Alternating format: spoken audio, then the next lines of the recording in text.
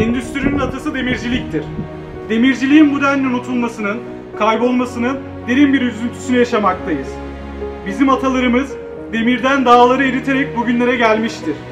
Ve biz yeni neslin bu zanaatı unutmaması, önem göstermesi ve kaybolmayan bir değer olarak yüceltilmesi için kulüp olarak çalışacağız. Bu yüzden Türkiye'de ilk defa demircilik üzerine üniversite kulübünü oluşturduk.